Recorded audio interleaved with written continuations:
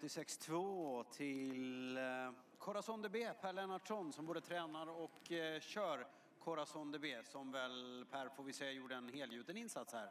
Ja, det måste jag säga. Han, för det första, det här med utvändigt ledande spelar inte han någon roll. Han har nästan gjort sina bästa lopp i ledning och utvändigt, så att det var jag inte orolig för. Men just med brodd och skor och sånt där. Jag tycker jag hittade en sån fin växel på när han gick barfota, så jag tänkte nu backar han tillbaks lite. Men eh, nej, det var tillräckligt för att vinna det här loppet.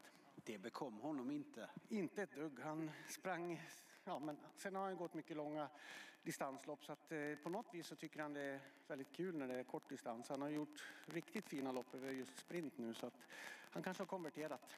Eh, men du Per, är inte det här en riktigt häftig häst som blev miljonär nyligen, eh, som tar sin tolfte seger i den 30 starten och nästan alltid levererar? Är det, är det rättvist att säga det? Jo, det tycker jag, men när det går hans väg.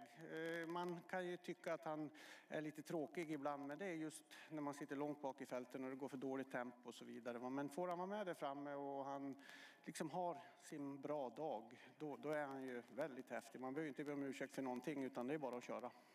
Känns som han ganska ofta har bra dagar ändå.